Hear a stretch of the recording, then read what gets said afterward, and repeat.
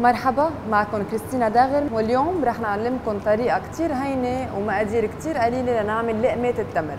أول شي رح نبلش بحبوب التمر زبدة بسكوي وعنا آه، فستق حلبي جوز الهند وقرفة ناعمة وماورد رح نبلش بالمقادير مع شيف خالد.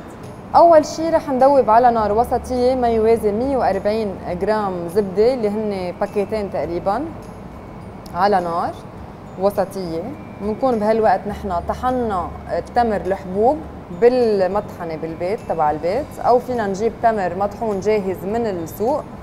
من بعد ما نحرك الزبدة لندوبها أكيد الأفضل إنه ما تغلي الزبدة على النار. من بعد ما تذوب الزبدة على نار وسطية رح نزيد عليها التمر الناعم يلي يا نحن آه نعمناه عنا بالبيت بالخلاط أو اشتريناه جاهز من السوق. رح نخلطهم على النار مثل ما عم نشوف حتى آه، يشرب التمر الزبدة. هيك بنكون رخيناه ناخد وقتنا فيهم. وبالآخر رح يبين معنا إذا في زيادة زبدة والعجينة بطلت عم تقدر تاخدهم بنشيلهم على جنب وبنصفيهم بس المهم ناخد وقتنا لأنه معقول يبقى معكم 10% زبدة ما تاخدهم العجينة مثل ما عم نشوف مع الشيف الأفضل. نشتغلهم بإيدنا. هيدي أخذت زبدتها صارت واضحة. هيدا اللي باقي فينا نشيلهم على جنب ما بيأثر. لو باقي شوية زبدة هلأ البسكوي بدهم يشربون آه، بعد شوي.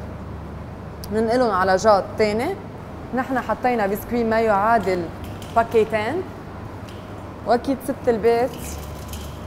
فيها تحط قد ما هي بتلاقي إنهم بحاجة قد ما هن بيحبوا. ملعقة موارد وملعقة ما زهر حسب ما الست بتحب. أكيد مش أكثر من ملعقتين أو ثلاثة تا ما يمرمروا حسب الكمية يلي عم تشتغل فيها طبعا أكيد. فينا نزيد عليهم ملعقة جوز الهند بتعطيها كمان نكهة طيبة. رح نرش ملعقة جوز الهند. كمان لتطيب العجينة.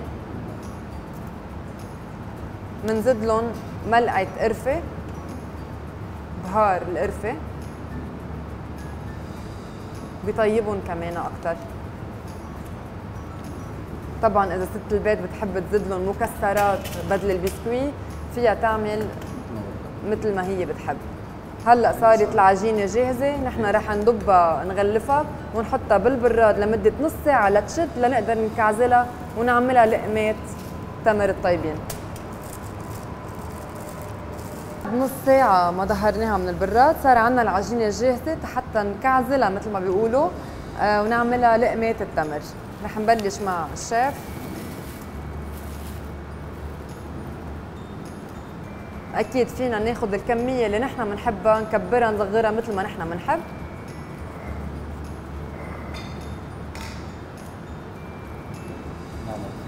أكيد هي هينة لا نعملها برمات صغار. إذا حست ست البيت إنه عم بتدبق معها فيها تحط شوي بإيدها مي سخنة تقدر تدورهم. حطينا نحن قطر شوي على إيدنا. منبرمهم بالقطرات حتى نقدر بس نغطيهم. بجوز الهند ولا بالفستق آه، الحلبي يقدروا ياخذوا كل الكمية عليهم حتى يتنكهوا من كل الميلات ويطلع شكلهم مثل ما شايفين بشهي لهالدرجه هيك فستق الحلبي بيلزق أكثر على اللقمات تبع التمر من وراء القطر. هيدي الوصفة طبعا أخذت وقت تحضير عشر دقايق